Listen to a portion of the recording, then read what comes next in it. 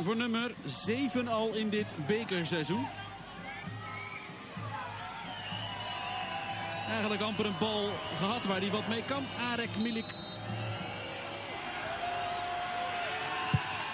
Hij schiet hem keurig binnen en Ajax leidt met 2-0. En dit zegt toch ook wel wat. Het is Klaassen die die bal snel uit het net gaat halen. Nog maar de stonden strepen, ja, 2-0. Maar nog weinig om echt om voor te juichen. Behalve dat de wedstrijd nu wel beslist is.